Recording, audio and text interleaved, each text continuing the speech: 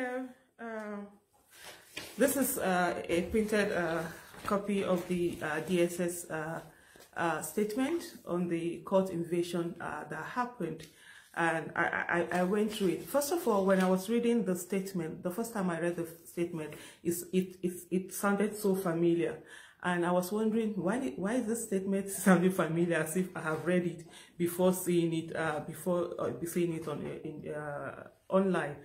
And I just I just realized that it is almost word for word for the narratives in the that the BMC handles and those supporters of uh, government and uh, you know that attack everyone else uh, that criticize the government and they're always supporting the government no matter what. Is part of mostly they just be sharing that uh, message. It's good number the way so I like mm, that was why it was uh, looking so familiar uh, just reading uh, the, the statement.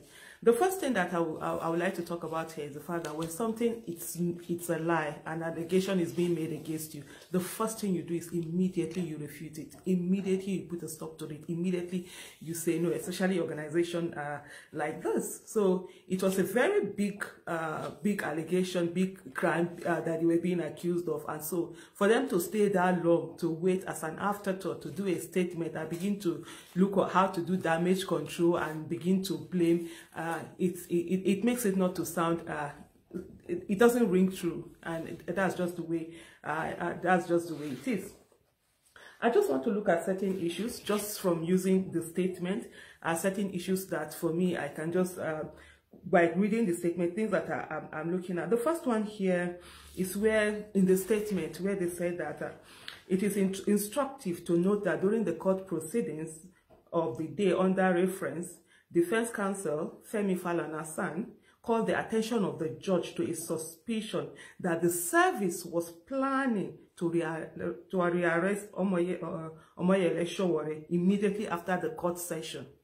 The court discountenanced his alarm and asserted asserted that the service was law-abiding and would not engage in such and subsequently adjourned to February 2020.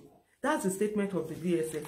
In that same statement of the DSS, in another paragraph below, they said, Eyewitness and several media accounts have disclosed that the court had adjourned peacefully without an, uh, an incident when suddenly the unruly crowd imported into the courtroom uh, uh, went into frenzy on the mere suspicion that DSS was sighted at the court premises. The eventual rearrest of Showore by the DSS was effect effected outside the courtroom.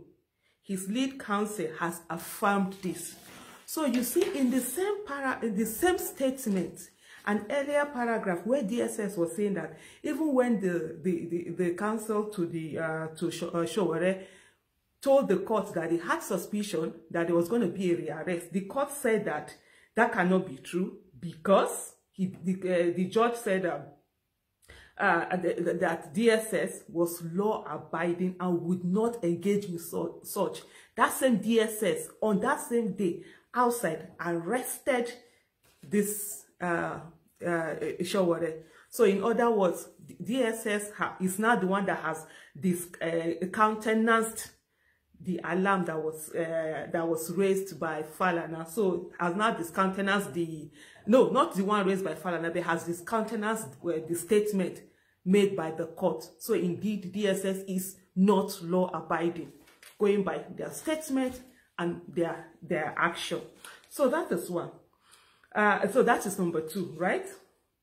So number three, they talked about uh, number three here from the statement. If you, if you look at the statement, they talked about that a critical look at the videos in circulation would convince any objective viewer that there was no DSS personnel during the entire period uh, the Sowore crowd acted out its orchestrated drama. Its personnel, its personnel were never at any time involved in the incident.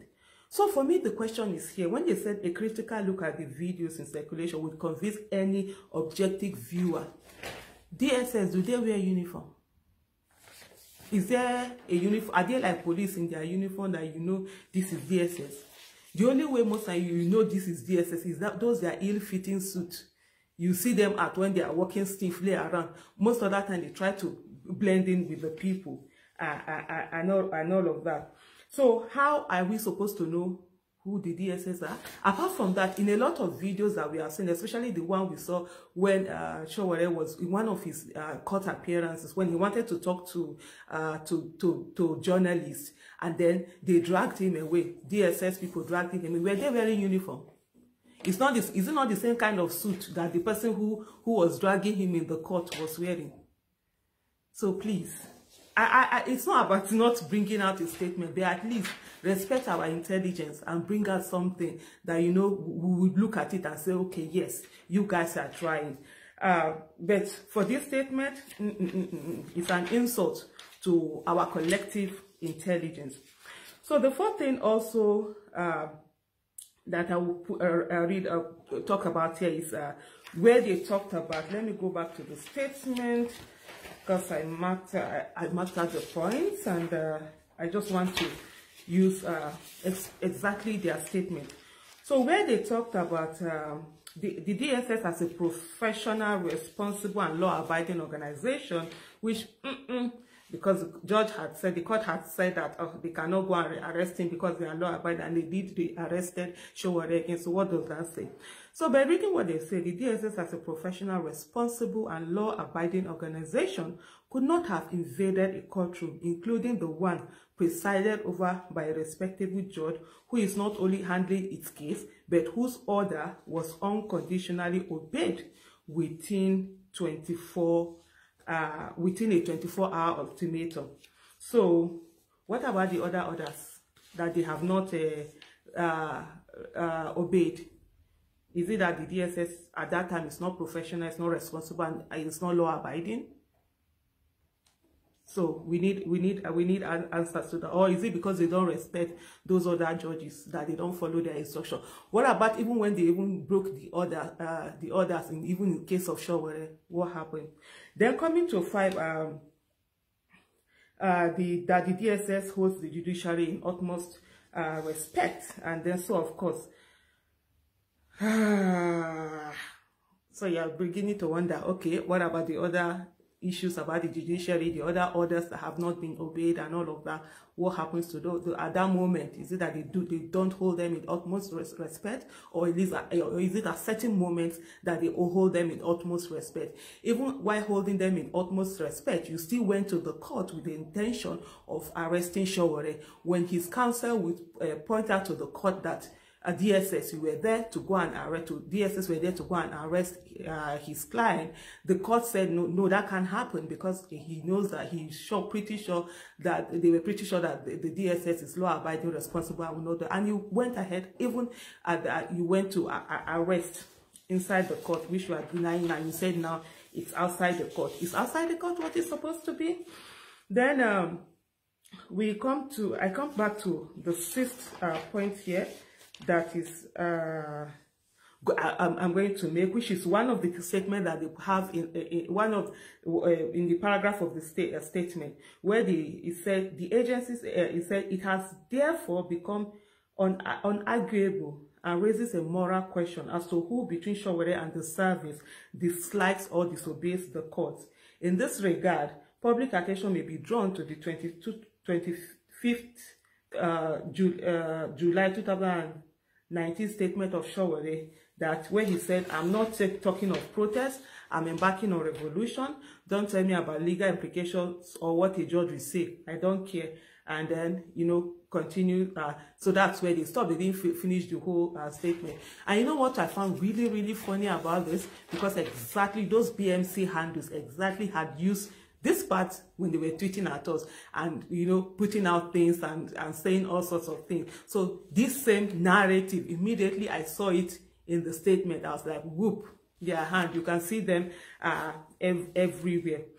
Uh, so i'm not taking so uh so it, it, that is it. So the seventh thing also number seven um looking at So where they said that, uh, so according to uh, the statement now, what DSS is saying is that sort of like implying that Sowore had broken his bail condition because they said on the 5th of December when Sowore was released, uh, he had at the Transcorp Hilton Hotel Abuja addressed a group of persons who, re, who who he reassured of his cause to create anarchy in the country, according to uh, uh, uh, DSS. So is it this based on the fact that, uh, okay, he, wasn't, probably he wasn't supposed to give a statement or talk to journalists or talk to people or whatever, he had broken uh, his bail condition? Yeah, is, is that what, is this what is about? And then if that happens, is DSS not supposed to go back to the court and let the court know that this is what has happened? Or is it for them to just go and swap in and arrest him? Don't forget also the, from the DSS statement where they affirmed the fact that the uh, the, uh, the judge had said that you know uh, when uh, the council of the Sowore raised the issue that he was going to be arrested, that that can happen because DSS is a law-abiding uh, organization. So now you see they, they haven't been law-abiding if you follow, they, they, have gone ahead to arrest him. And here they are talking about the fact that uh, he, he met with people and he was still talking. So why didn't they go back to the court if the DSS, like the, it has said, they have this respect for the uh, judiciary? Uh, so number, uh, so the eighth thing I'm going to talk is where they say uh, in the statement, they said it may be recalled that the DSS had on 3rd of December 2019 raised alarm about a plot to destabilize the country. It is quite remarkable that the plot has already started playing out. I think uh, I think what DSS, I don't know whether DSS are not living in Nigeria or they are somewhere else. Uh, the, the country is already destabilized. I mean, what, do we have on ground with all of the, I mean, go to Abuja Kaduna Road, people can't travel on it. Even the DSS themselves with their gra gra let them try it and travel on that and be using that road. Let's see. So the country is already destabilized. When you have Boko Haram out there, you have uh, uh, uh, killer headsmen, you have uh, bandits, you have kidnappers, you have crimes happening everywhere. I mean, crime is now so normal a place. Those that will snatch, those that are stabbing, even within Abuja, there, there's so much crime everywhere. You you leave your car for a moment, you're going to be attacked in your car. People are being, uh, all this one chance uh, uh, Texas and all of that. People are being attacked. People are being injured. People are being wounded. And, and then you're talking about that. The, the country is already destabilized. What, what are you talking about? So go after all those people that are destabilizing the country and just stop making insinuations and making yourself feel important. So what what what is it there that uh, they are talking about? Every day you bring out the same script. They are going to destabilize the country. The, the country is already destabilized. Do something about it, and that's what we're saying to to to, to the DSS. Uh, okay, uh, so the, then the other thing also, the ninth thing I'm going to talk about uh, is where, funny enough, uh, DSS came to say that uh, to ensure this objective is further achieved, some persons and groups are scoring to seize the opportunity of the misleading court incident and wrong narrative against the DSS to organize an insurrection in the country. So who is DSS talking to? Who? So your action, the action of DSS ensure that Nigerians were angry because this is a slap on our face. The democracy that a lot of people died for, they, they, they, they're trying to truncate it. And people people raised up their voices. And that's the voice that they are afraid of. Is that unity when Nigerians speak out. So that tells you something. That the government is afraid of your voice. That the government is afraid of you coming together and standing for something. Because when they know you do that, they, they know that they are in trouble. They are, it, will, it will no longer be business as usual. It will now be business unusual. And that's the reason why at every moment they throw things in so that you'll be fighting amongst yourselves and you, you, you not have that voice. So the voices that have been raised is what they are afraid of. So what is it? Is it the that is making them say that, oh, uh, people are seizing the opportunity? No, it's not people seizing the opportunity. It's, the, it's what you have done that is wrong, it's unconstitutional, and we're not going to accept it in our country. And it's earlier DSS realized realize that, the better it is for them. And Nigerians, this is the moment where we have to know that this nation is our own. It's not for a few people. And we must fight for this nation and must insist that uh, the right thing uh, be done. So that is for the uh, where they talked about, uh, and they also said that they have continued to falsely curry and mobilize international sentiments and attention through clear misrepresentation of the facts for their selfish ends.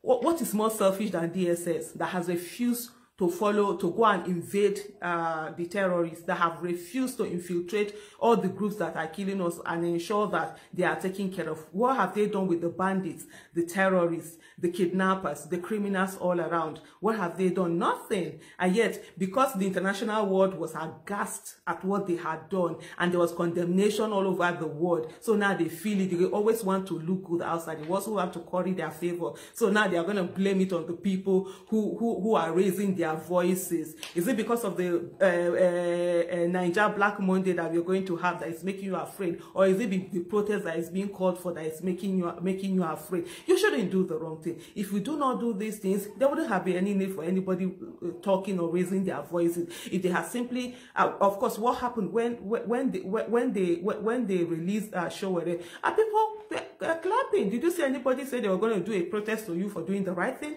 Did you see anybody calling? Did you see any uh, international uh, uh, uh, the international committee coming to to to condemn you for releasing him or anything? Wait, by the time you do the right thing, nobody is going to. You even even if the person wants to, they won't have space to go around. But if you don't do the right thing, definitely people will talk. They will not be silenced. This is our country, and we all are stakeholders in uh, in Nigeria. Then okay, so that that's then okay, they talked about uh, seizing the moment. Then the other thing, of course, I saw where they like where they were talking about em, uh, emphasizing on the fact that uh, Showore is facing trial not as an activist, journalist, or a politician, but for his resort to call for violence, forceful takeover of government, and suspected transnational illegal activities. It is most unfortunate that Showore, shortly after being released from custody based on court orders, resorted to act to act inimical to security. So in other words, because of course there has been the international world and everything, the heat has been on them talking about, you know, uh, arresting uh, journalists for saying the truth and all of that. So they just want to take that out, out of it. That was the same thing uh, we saw with our, our, our country, uh, our, our, military trying to label uh, someone a terrorist, a journalist who always brought out the, the true picture of what was happening in the in the northeast. And so this is the same thing that DSS is doing. They have uh, uh, continuously uh, tried to do that. And then for you to really know that the statements from the international community is really getting at them, what what is being said there, it's it's really uh, uh, uh, getting at them. Basically, is where they will end it with the father, where they say those sections of the populace have been fed with spurious narratives about these developments.